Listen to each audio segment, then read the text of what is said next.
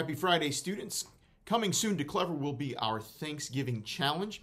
The Thanksgiving Challenge will be an academic competition allowing all students to compete for gift certificates to places like Chick fil A, Dodge's Chicken, and Jilly Beans Ice Cream, and more. It starts next week, so students make sure that you can be completing activities over Thanksgiving break in Clever to be eligible for these prizes. It's open to all students.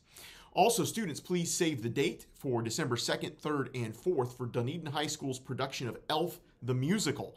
This production is at the high school, but it features performances from some of our DHMS students and another special guest. This Saturday, November 13th, is World Kindness Day. So today, our Save Club members will have an activity for students in lunches. We're also going to have the No Tardy Party today, and it will be in 5th, 6th, and 7th period.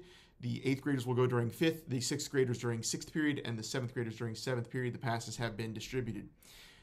Also, want to remind students that students and families can choose whether or not to wear a mask, and all choices will be respected. Pinellas County Schools strongly recommends wearing masks, and we have plenty here at school for anyone who would like one. Cell phones, earbuds, and headphones are not allowed. The same goes for hats, hoods, and head coverings. Our lunch menu for today, hot off the presses, is cheeseburger, meat lovers stromboli, fruit and yogurt parfait, and turkey and cheese sandwich. Have a happy Friday. As always, students, if you have a conflict with a peer, please seek the assistance of an adult before taking matters into your own hands. Here at Dunedin Highland Middle School, we use the Say Something app.